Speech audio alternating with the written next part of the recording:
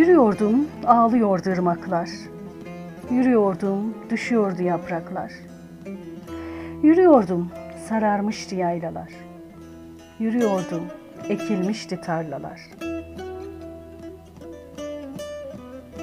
Bir ses duydum, dönüp baktım bir kadın. Gözler dönük, kaşlar çatık, yüz dargın. Derileri çatlak, bağrı kapkara, sağ elinin nasırında bir yara. Başında bir eski püskül peştemal, koltuğunda bir yamalı boş çuval.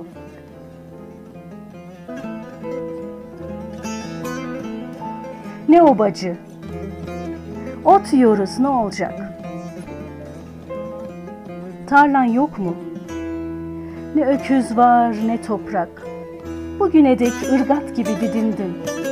Çifte gittim, ekin biçtim, geçindim. Kocan nerede? Ben dulum.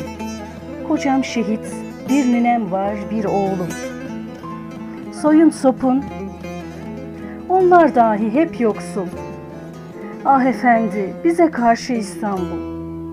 Neden böyle bir sert yalçın taş gibi? Taşraların hayvanlık mı nasibi? Hayır, hayır. Bu nasibi almak için doğmadın.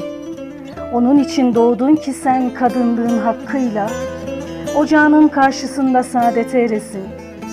Göğsünü kabarttıran anneliğin aşkıyla evladına sütün gibi pak duygular veresin. Sen bir aziz yoldaşsın. Senin sesin hayat için dövüşmeye koşturur. Senin sevgin vatan için fedakarlık öğretir.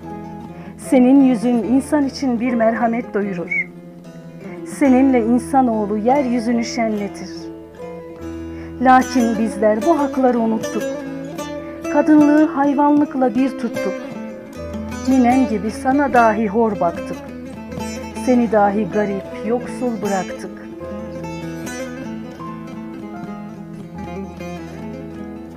Kimler için karaları bağlayan, zevkler için zelil sefil ağlayan, acı gören, cefa çeken, ezilen, hırzdan başka her şeyini veren sen.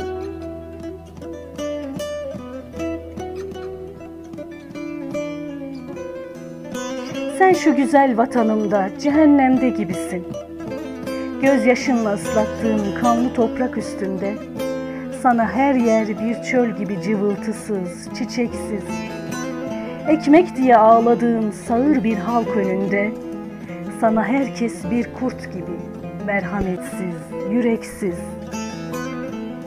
Senin her bir ümidin ayrılıksız, yoksulluksuz bir dünyaya kalmıştır. Oradaki masum çiftler hıçkırıksız yaşarlar. O melekçe sevgilerle birbirini okşarlar. Ve burada Allah bütün dilekleri yaratır. Ne vaktedek gençliğine hakaret, bu ayrılık, bu gözyaşı, bu ölüm, bu sert demir, bu ağır yük, bu zulüm. Yazık sana ağlamayan şiire, yazık sana titremeyen vicdana, yazık sana uzanmayan ellere, yazık seni kurtarmayan insana.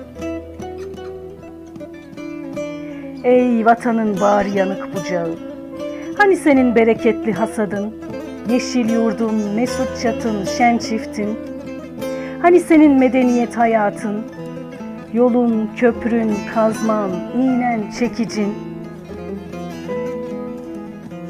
Ey türkülüğün otağı, ne vaktedek bu acıklı sefalet, bu viranlık, bu inilti, bu kaygı, ne vaktedek bu uğursuz cehalet, bu taassup, bu görenek, bu uyku, Yazık sana ağlamayan şiire, yazık sana titremeyen vicdana, yazık sana uzanmayan ellere, yazık seni kurtarmayan insana.''